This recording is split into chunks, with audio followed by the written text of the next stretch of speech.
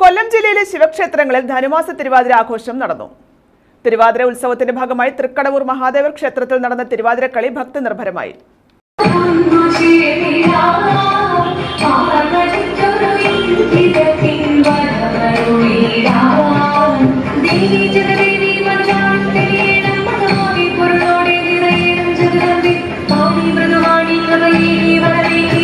മഹാദേവന്റെ ജന്മം കൊണ്ട് പവിത്രമായ പുണ്യദിനം കൂടിയാണ് ധനുമാസത്തിലെ തിരുവാതിര. എല്ലാ ക്ഷേത്രങ്ങളിലും വലിയ ആഘോഷങ്ങളാണ് നടന്നത്. എന്നാൽ തൃക്കടവൂർ മഹാദേവ ക്ഷേത്രത്തിലെ തിരുവാതിര വളരെ വേറിട്ടതാണ്. നൂറ്റി എഴുപത്തി അഞ്ച് അങ്കനമാരും പെൺകുട്ടികളും വ്രതം നോറ്റാണ് പുണ്യദിനത്തിൽ തിരുവാതിര കളിക്കുന്നത്.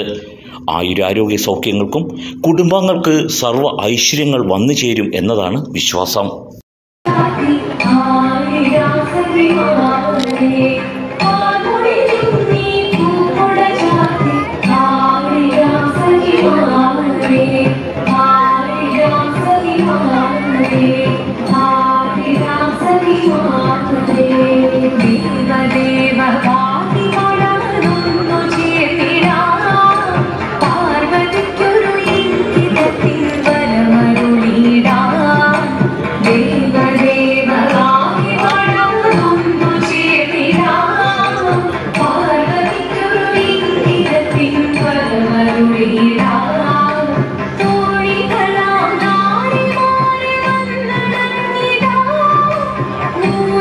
ദേവി കലാക്ഷേത്രത്തിലെ കലാകാരികളാണ് ക്ഷേത്രമുറ്റത്ത് പ്രത്യേകം തയ്യാറാക്കിയ രീതിയിൽ തിരുവാതിരക്കളി നടത്തിയത്.